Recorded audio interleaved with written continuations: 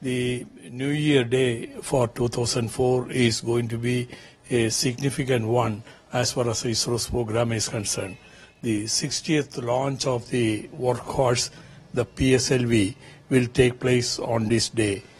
Uh, when we look back in history, it started its journey in 93 and since then uh, most of the missions have been successfully completed not only around earth orbit but it has gone to the mars as well as moon as well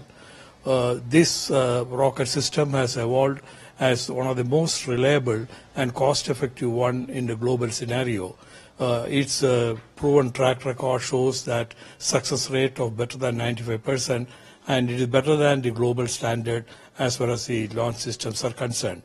This launch is significant uh, scientific mission in which it is going to have uh, observation system for looking at the fundamental phenomena associated with the galaxies, uh, the black holes, the dying stars, and so on. So that way it will throw a lot of light into the origin of the universe and also add to the scientific knowledge of the universe.